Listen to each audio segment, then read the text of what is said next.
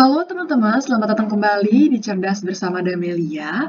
Sekarang kita akan belajar tentang uh, negative feedback ya. Nah, sebelumnya pada tahu nggak rangkaian feedback itu apa? Namanya juga feedback pasti ada yang dibalikin dong. Nah, rangkaian feedback adalah penguat ya, penguat di mana sinyal outputnya dimasukkan kembali ke sinyal input. Artinya dibalikin tuh dari output ke input. Jadi kalau misalnya saya punya IC penguat ya, di sini bagian non inverting, di sini inverting, ini bagian outputnya. Lalu saya taruh di sini misalnya uh, sumber. Oke, okay, ini ground. Nah, feedback Khususnya yang bagian negatif feedback yang kita akan bahas kali ini. Dia ada rangkaian yang sinyal outputnya dimasukkan kembali ke sinyal input. Sub. Nah, dimasukkannya ke bagian yang inverting teman-teman ya inverting karena kita bahasnya negatif feedback ya teman-teman jadi dia bisa kayak gini ataupun dia bisa kayak gini kalau misalnya saya naruhnya di bagian atas ya yang uh, negatifnya lalu plusnya bagian bawah Lalu saya kasih di sini output, misalnya di sini adalah uh, inputnya, sumbernya nih ground. Nah, si feedback itu akan ngebalikin lagi teman-teman dari si output ke input. Pokoknya dia akan menuju si yang negatif gitu ya, akan menuju yang bagian negatif. Lalu yang positifnya diapain? Bisa di-groundin, bisa diapa-apain, terserah. Pokoknya gitu. Nah, Feedback adalah rangkaian yang uh, bersifatnya penguat di mana sinyal outputnya dibalikin ke sinyal input dan kalau misalnya kita ngomongin tentang negatif feedback berarti yang akan dibalikan bagian yang inverting. Oke, okay? itu adalah kesimpulannya.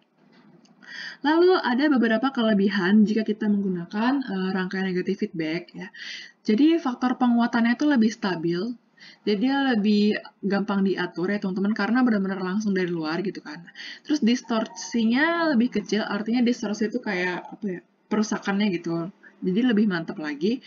Dan bandwidthnya lebih kecil, jadi kita nggak perlu bandwidth yang gede-gede supaya apa ya lebih murah aja gitu. Nah, ini juga rangkaian tuh udah ditemuin pada zaman dahulu banget tuh teman-teman pada 1920 27 kalau nggak salah ada ya, kalau nggak salah. Gila banget kan nemuin negatif feedback dan kita baru belajar 2019. Oh god. Lalu dalam rangkaian feedback teman-teman semua, dalam negatif feedback ya khususnya, eh, bagian input sama bagian output itu bisa terdiri dari dua hal. Bisa berupa tegangan sama arus, dan ini juga bisa berupa tegangan sama arus. Jadi, tegangan bisa sama tegangan, ataupun tegangan sama arus, lalu arus sama tegangan ataupun arus sama arus. Jadi dia ada empat macam ya, empat macam dalam negatif feedback. Nah, apa empat macam rangkaian itu? Uh, kita langsung lihat aja di gambar yang sudah saya sediakan. Ini adalah gambarnya. Nah, Secara garis besar, ini adalah kesimpulan daripada uh, rangkaian negatif feedback ya. Kalau misalnya inputnya yaitu tegangan, lalu outputnya juga tegangan, maka rangkaiannya bernama VCVS ya. Jadi rangkaian pertama bernama VCVS. Apa VCVS? VCVS adalah voltage, V-nya tuh voltage, C-nya control, V-nya lagi voltage, S-nya source. Nah, jadi ini singkatannya. Artinya apa? Artinya adalah tegangan input mengontrol tegangan output. Ya, itu artinya. Jadi, di dalam uh, negatif feedback bagian VCVS, teman-teman, ini adalah rangkaian yang paling ideal ya, dia paling ideal. Mengapa saya bisa bilang demikian, dia paling ideal? Karena mereka mempunyai tegangan yang stabil, ya. Dia punya tegangan yang stabil.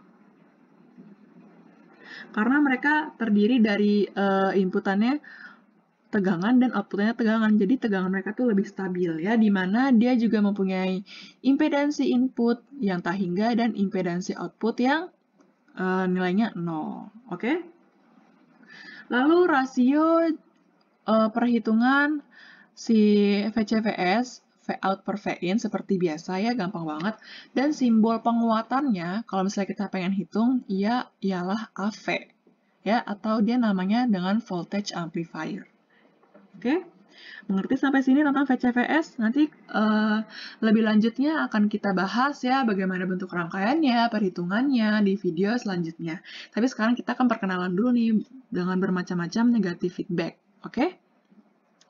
Lalu, yang kedua, jika inputannya yaitu arus dan outputnya yaitu tegangan, maka e, rangkaiannya bernama ICVS. Yang kedua, ICVS. Atau kalau kita jabarkan namanya yaitu current control at ini bacanya kontrol ya. sorry, sorry. Voltage source. Jadi apa artinya? Artinya ialah uh, arus ya, arus input itu mengatur tegangan output. Jadi ini ada perubahan dari yang arus menjadi tegangan. Makanya dia dinamakan uh, rangkaian convert. Karena apa? Karena dia mengubah dari si arus menjadi tegangan gitu ya. Dan dia juga dinamakan dengan trans resistant amplifier. Kenapa dinamakan demikian? Trans, trans artinya dia berubah seperti ini ya. Arus menjadi tegangan, lalu resistance itu artinya ialah rasionya. V out per V in. Kalau kita pengen cari tegang eh penguatannya kita carinya dengan simbol RM. Ya, mereka tidak mempunyai uh, impedansi input dan mereka tidak mempunyai impedansi output di sini.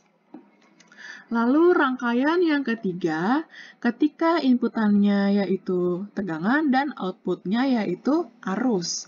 Dia dinamakan dengan rangkaian VCIS. Nomor tiga, yaitu VCIS. Apa itu VCIS? VCIS adalah voltage control